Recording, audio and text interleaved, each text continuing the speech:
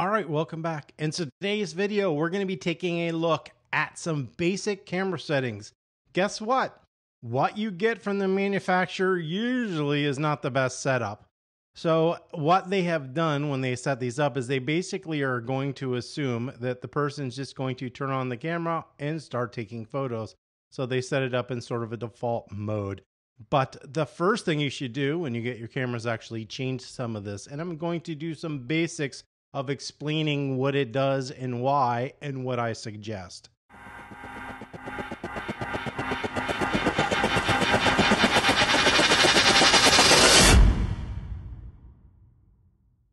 Some of the things we're going to take a look at. Image quality or type, autofocus modes, drive modes, ISO, metering modes, the auto lighting optimizer for Canon, and active D-Lighting for Nikon.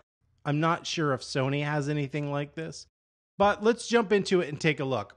So, the main first option that we're going to need to take a look at is usually going to be labeled in your menu system. So, some of these are going to be buttons that you can toggle, and a lot of this is dependent on your camera.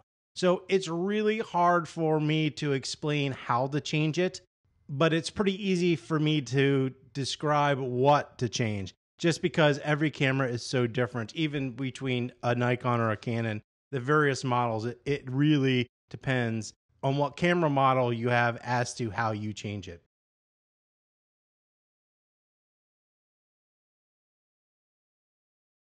So the first thing we're going to take a look at is JPEG or RAW. So a RAW file is going to be CR2, CR3, Nikon's NEF, DNG or Sony ARW or any other RAW files that a camera might shoot. RAW is also a term to describe an unedited image, but in this case, we're using the RAW file. So a JPEG is a compressed 8 bit file. So an 8 bit file has from white to black 256 steps of gray. And it's a compressed file, meaning that when you save the image, some data, some or a lot, can be thrown away in an uncompressed file, an image is made up of a bunch of pixels. And if we were to actually zoom way in and look at it, we would see the pixels. An uncompressed file, the file remembers every single pixel, everything about it. That results in a large file. A JPEG doesn't remember everything. So in an image like this, it sees this blue, which is the same color all through this, and it doesn't remember every single pixel. It remembers a few of them, maybe one here, here, here, here, here.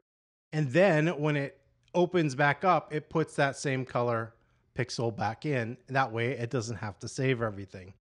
That being said, the uncompressed file is far superior. So if a JPEG is compressed in an 8 bit file, a RAW, and what a RAW file is, is a file that is just a capture. So the way a camera saves a JPEG is you take a picture, it goes through the camera's processor, it applies a bunch of stuff to it, and then it saves it. So it's processing the image in the camera. A RAW file, it takes the picture, but it doesn't process it. We do that after the fact in a program like Lightroom or Adobe Camera Raw. So what this gives you is flexibility in adjusting that image before it gets processed. And it makes a world of difference. A RAW file is usually a 16 bit file. However, most cameras can't shoot in 16 bit. In a program like Photoshop, you have the option to be either in 8 bit or 16 bit, but most cameras shoot in like 12 or 14 bit. So you don't really shoot in 16 bit, but you're working in 16 bit. 16 bit gives you a whole lot more information. It's like 64,500 shades of gray versus 256. Do we get that much? No. All you need to know is it is an insane amount more data than that 8 bit file. And that's really the reason to shoot a raw file. It gives you the flexibility, to control it, and you'll see this once you move into a raw program. And it has a whole lot more data for you to work with. So as you're adjusting and shifting stuff around, those shifts are not as drastic and you're able to pull more out of shadow and highlight detail than you would if you shot a JPEG file. Now, most RAW files are non compressed, but a DNG, which is Adobe's RAW file, if you want to convert it, does slightly compress the image. So if you're first time setting up your camera, I would definitely suggest shooting RAW files. However, if you don't have a program to convert it, your computer will not be able to view them. If you're working on an Apple, you should be fine because it does read RAW files, but natively Windows or PC does not. So you need a program. Now, most cameras come with programs that will read your RAW files.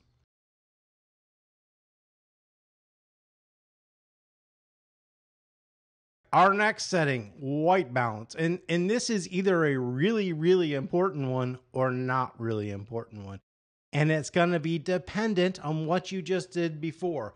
If you are shooting in JPEG, you absolutely must know how to change the white balance on your camera because you can't do it after the fact. If you are shooting a RAW file, it does not matter if you set this because you can do it after the fact in the program. And this is one of the big benefits of shooting RAW. On the camera, most cameras are going to have something like this, which is similar. It is also helpful to understand the Kelvin temperature.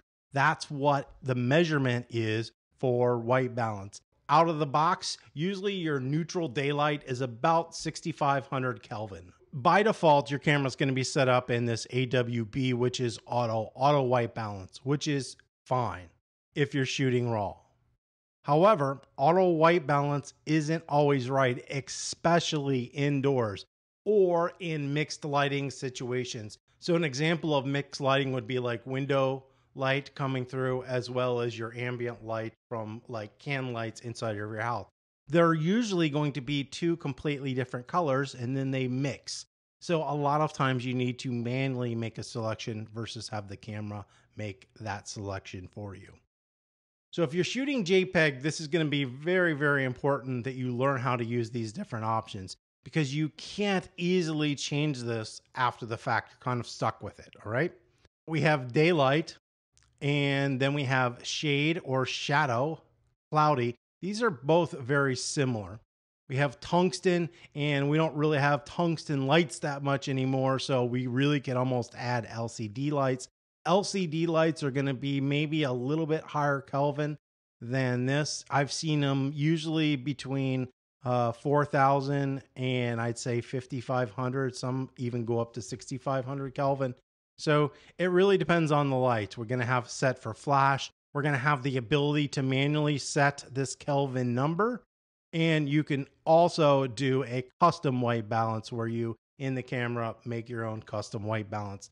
That you will definitely need to read the manual because it varies so much, it would be impossible for me to explain it. These are your different white balances. Usually on your camera, you're going to have a button that says white balance, or if you go into the info panel, you'll see the white balance, and I will show you that later and you'll need to go in and manually set this and you'll need to do it all the time because if you set it for tungsten and then you go outside and take pictures it's going to look horrible when you look on the back of your camera it's going to look funky and you're not going to know why so you need to get used to this if you shoot raw you can just leave it on auto and you can change it after the fact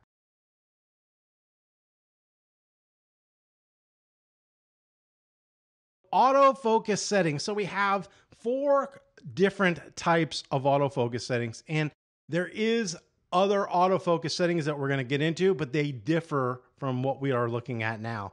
So this is usually going to be on the info panel or a button on your camera, just depending on the camera. And these are usually inside of your menu. The first one we have an option is just to manually focus. And manually focusing on these new digital cameras is really difficult. I would suggest that most people do not try to manually focus because it's hypersensitive. The next one we have is single servo, as we see up here. And what single servo does is the camera will autofocus. And the way this works is you'll have an autofocus point or group of points in your camera, and the camera will try to autofocus on that. And then once it thinks it's in focus, it will stop and lock on that. It won't try to autofocus anymore. This is great for non moving subjects, like a portrait or a statue, whatever it is. The next type is continuous servo.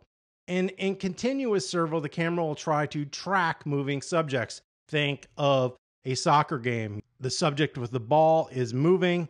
You have the focus point on the subject, and as that subject moves, the camera servo is going to track that subject and try to stay in focus. So that's continuous servo. Next, we have something called AI or matrix. I think Canon is AI and I think Nikon uses matrix.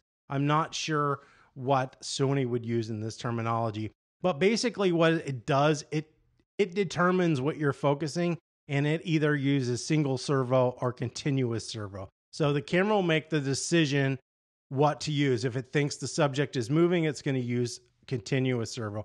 I'm not a fan of the camera making any decisions via the reason that I shoot in manual, and most people shoot in manual. So I personally use continuous servo. Now, there are some other modes that we're going to get into here that are more advanced and are on some of the new cameras. So we'll take a look at those in a second. But if you need to set something at a default, I would suggest continuous servo. You will see here in a little bit, I use a rear or back button focus. So I can let go of that button and it will just stop focusing. So if I do need it to stop, I just let go of the button and it won't keep tracking the subject anymore.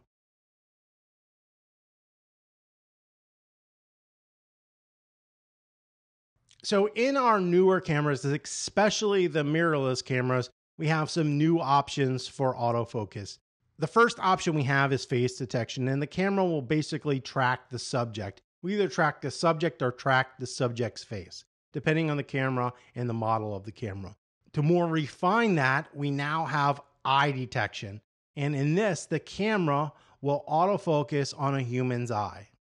That's important to know on a human's eye. If you have something other than a human, you might need to change the setting. Most cameras have either pet detection or pet eye detection, in which the camera will track the animal's eye. These work awesome for portraits. However, if you're not shooting a subject with either a person or an animal in it, it's not going to be too helpful. So you're going to need to learn to know how to change this stuff so that your camera can be set in the best possible settings that you can get it into. So those are some of the newer advanced settings.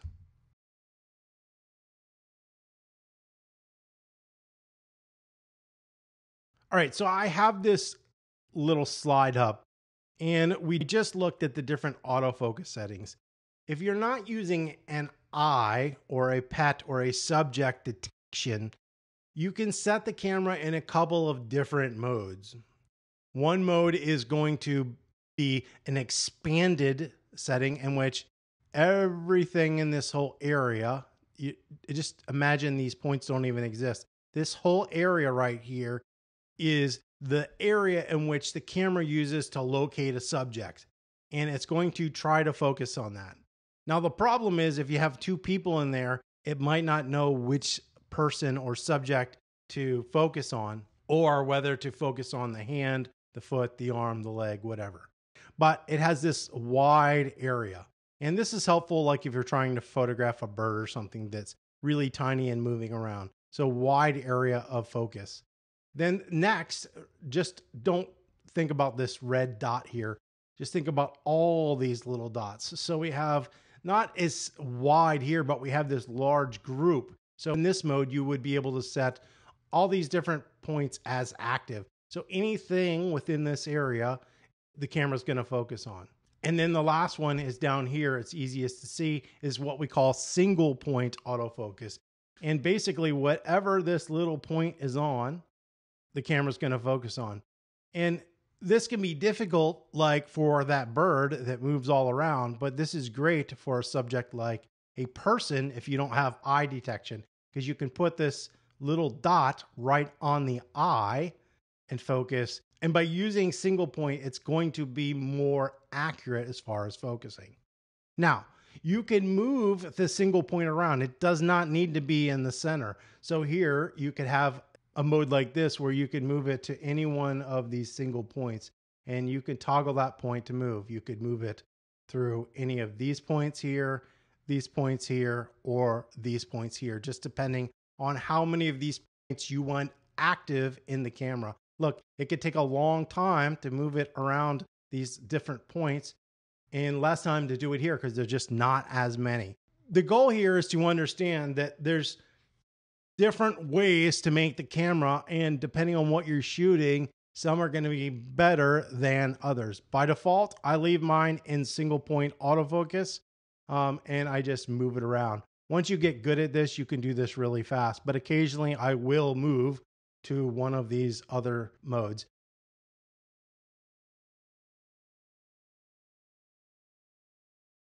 All right, next we have shutter drive settings. And what this refers to is basically how the camera takes pictures. So the shutter is a mechanical object in which it opens and closes. You'll usually hear that when you take a camera. That's what goes click, click, click, click, click, click, like that. So single means every time that you press the shutter button on the front, it will take one image. You can hold it down, it's still only going to take one image. The next option is continuous. And in continuous, you will hold the shutter down, and as long as you hold the shutter down, the camera will take pictures until you run out the buffer, which means it can only take so many images before it needs to write to a card. So that could be three images, that could be 200 images. It really just depends on the camera. But it will continuously take pictures as fast as it can, as long as that shutter is depressed. Now, some cameras have a high and a low setting, meaning it will do a continuous slow or continuous high. It just really depends on the camera. Next, we have timer modes in which you can have the timer go. So you will press the shutter button and the camera will take an image either after two seconds or 10 seconds. One thing I will suggest if you do stick it in timer, remember to stick it back into single or continuous after you're done, or next time you'll turn on the camera like I do, press it and then have to wait 10 seconds before it takes a picture. It drives me nuts. One thing to note the newer mirrorless cameras have both a manual shutter and an electronic shutter and they will let you use either one, meaning it will have a traditional shutter that goes up and down, and it will use that to take the picture. It also has an electronic shutter in which the mirror will go up, and then electronically it will take an image. Now, an electronic can take a much faster burst of images. So, usually, when you do continuous, or a camera, it will tell you it can take five images a second or 10 images a second. With an electronic shutter, sometimes you can take up to 20 images a second. By default, I have my camera on continuous because you never know what's going to happen. So even though you're taking a portrait, and you might only want to take one at a time. Something can happen. A bird could fly into their face, and you would just want to get a burst off as that bird crashes into them. So continuous is my default.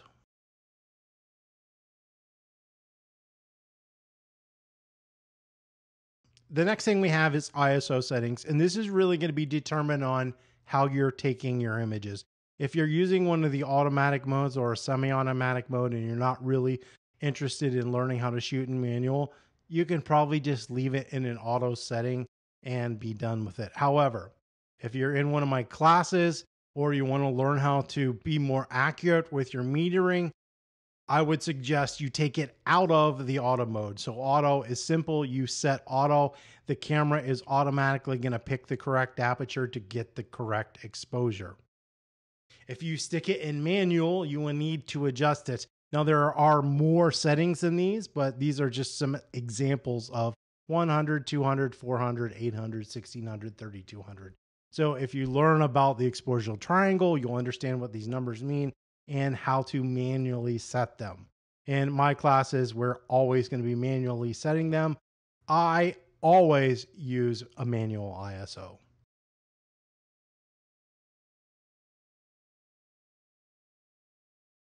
So this next one's a weird one, and I don't think most people have ever heard of it. it it's an auto toning setting, and I don't know if Sony has one, but I know Canon and Nikon do. And I tell all students that I have to turn it off because it, it will auto tone. And if you're shooting a JPEG image, this might be helpful in which the camera automatically adjusts to get more out of the usually the shadow area. Um, could be the highlight, but more in the shadow area of your camera. In the case of shooting in RAW, we want to have the ability to adjust this ourselves. And because the image hasn't been processed, we're going to have the ability to do that in Lightroom or Adobe Camera Raw. So in this case, I always tell students to turn auto lighting optimizer and deactive lighting off. But if you are shooting JPEG, uh, it might be helpful to leave it on.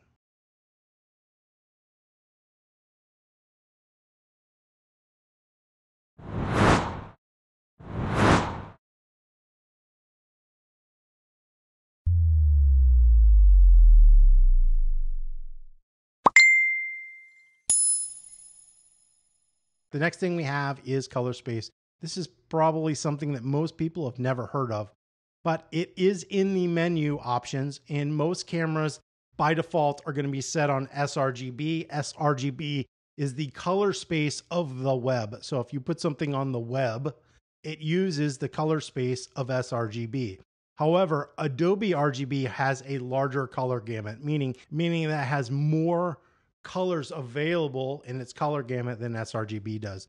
So I would say if you're going to be shooting for print, use Adobe RGB. If you're going to be using print and web, use Adobe RGB because you can convert this really easily. It doesn't make a difference. The other thing to know is color space is only applied to a JPEG image. Remember, I told you that the camera processes that JPEG image, well, one of the things it will do is assign a color space to it depending on whatever you set up. So if you shoot raw, it doesn't really matter what you have set because you're going to be applying it after the fact. But if you just want to set it and forget it, pick the one that you want. Um, you're only going to most likely have sRGB and Adobe RGB. Um, sometimes it's labeled Adobe RGB 1998, but they kind of are getting rid of that 1998 since it's so long ago and now it's just referred to as Adobe RGB.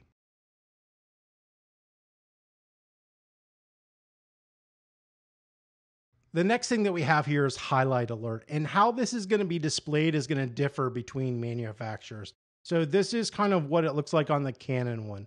And basically what's going to happen is if you're taking an image, highlights are overexposed, meaning they're too bright, it's going to flash or let you know somehow whether it's by a red color or lines or weird grayed out area, whatever it is, it's going to let you know. And this is helpful. So when you look at the LCD in the back, when you're outside, it's kind of hard to tell if the exposure is good or not. A lot of times, if you look, it looks good, but then when you open the image up, it's still too bright when you look at the LCD when it's bright outside. So this is helpful that you can take the picture and get it so that the highlight alert isn't flashing. And basically, what this is saying is hey, you took this picture, but you've lost all your highlights. Even if you have a raw image, if you take it and you shoot it and it has no highlights, you cannot get them back. That is a bad thing in photography.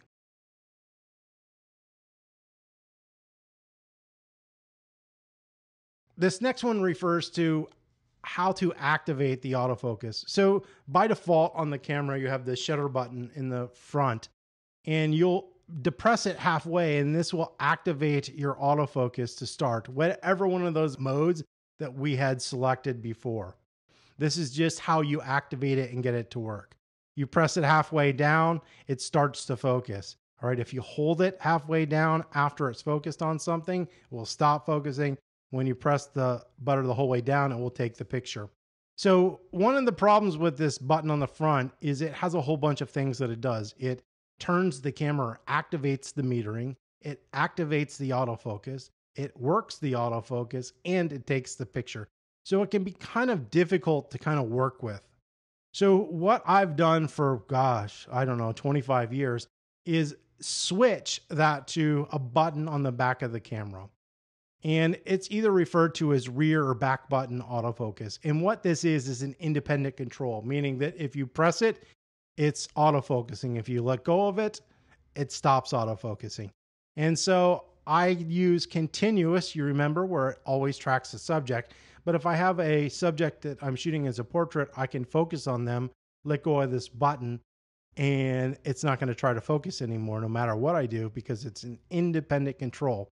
I have a video that goes way more into depth in how to autofocus like a pro. So if you're interested in that, I will leave it in the description below.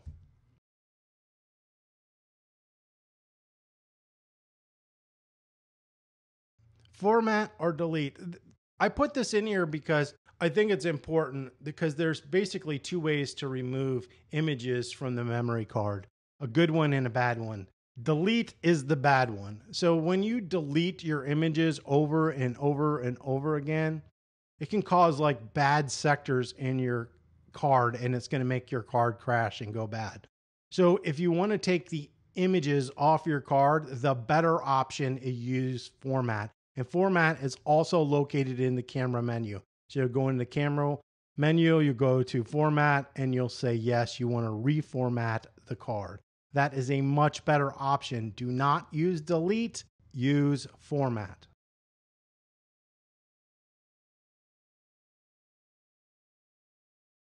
So I brought this video up because depending on the camera, look, if you have a lower end camera, a lot of the options that we have, you need to go into this little eye or an info menu or something that is shown on the back of your LCD. So if it is touchscreen, you can just touch them and they'll open up. On some of the higher end cameras, you'll actually have a button to press to do those. The first one here is your mode, and this is program, auto, shutter priority, aperture priority, manual, and then the kind of like dummy modes, I call them, where it's like portrait mode, sports mode, stuff like that. That we didn't go over in this, but that is a command dial that lets you pick this. And that's usually going to be on there. This is going to be your shutter speed. This is going to be your aperture. This is showing your ISO. This is showing what autofocus setting you have, right? And then how many pictures you've taken autofocus is going to be right here. But to go in to change it, you would actually go into this AF auto. You would either tap this or select this, and then it will let you change that autofocus to either eye or single point autofocus, whatever you choose to use. The next thing that we have is metering. Now, I didn't really go into metering settings. Um, you can change your metering settings, whether it's LCD display, so you might not need to hit it. So either way, and look, this is just one camera. Another camera might be configured differently, but this is basically what it's going to have. The last is your ISO, whether you're using auto or you're using, you know, 100, 200. This is just telling us what type of, of card that we have. So this is the little info button. You might see a button on the back of your camera that has an eye. You would hit this and this would pop up and display. But usually the default, this pops up anyways in your. Lastly, we have ISO. So this is in a manual mode where we have it set at 100. It could be set at auto if you didn't change that, but this is showing you how it's set. What's important is you learn the quickest way of how to change these. As you get more advanced cameras, they have more buttons and they make it easier for you to change this stuff. But in the lower end cameras, they don't think you're ever going to change it, so they make it more difficult and it's a little bit more complex sometimes to figure the process out. Well, that's it for basic camera settings. Hopefully, you have found this video helpful. If you did, you could give us a thumbs up. That would be wonderful. If you have any comments or questions, you can always leave those below. And don't forget to subscribe.